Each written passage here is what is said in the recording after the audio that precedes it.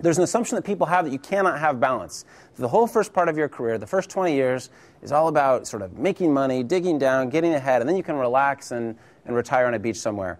And I think that that's also um, leads to unhealth um, in my experience. I think you can have balance. I remember in my first job, um, you know, investment banking, New York. Um, most of you know what that job looks like. I mean, it's sort of 100 hours of work, and you're just a slave, and you do whatever the senior people leave you at 8 o'clock at night on their desk and say, have ready at 7 o'clock uh, the next morning. Um, to me, balance has always been really important. And um, one of the things, so I like to exercise and work out, I like to do things in the outdoors. Um, I have uh, life in my church, um, I have friends. So, you know, giving up my life for two years just seemed like a bad proposition. And as soon as I got to that job, I realized that's what they were asking. They were saying, no, for two years, you're our boy and you're going to do whatever we ask you.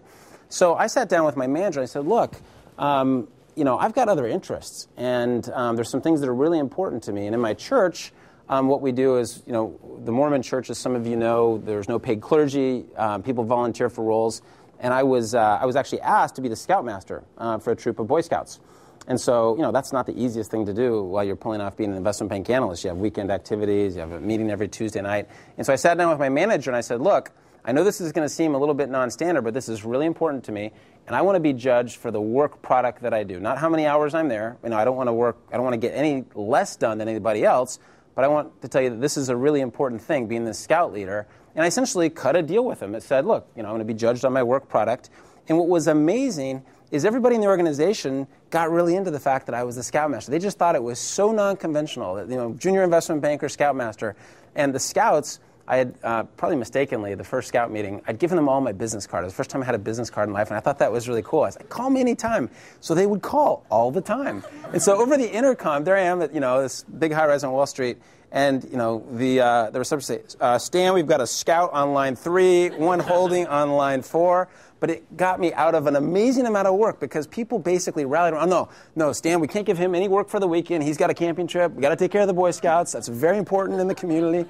And so, you know, it seems a little bit ridiculous in retrospect, but I have found that that lesson translatable in subsequent jobs. If you sit down and you talk about what's important to you, most people, so for me that's important. It might not be important for some of you, but balance is important to me. I don't want to do one thing all the time. You know, people always ask, well, how are you teaching two classes at Stanford? You know, you're running an investment bank. I do it because it's important. And you can make things in your life work if they're important to you, and you communicate effectively with your peers, you know, your, your bosses about that. So I just don't believe that you have to give it up all for work. I don't think any job is that interesting. There's nothing that I could do for 60 hours a week and be happy. Um, so I think for me, it's been better to be a generalist.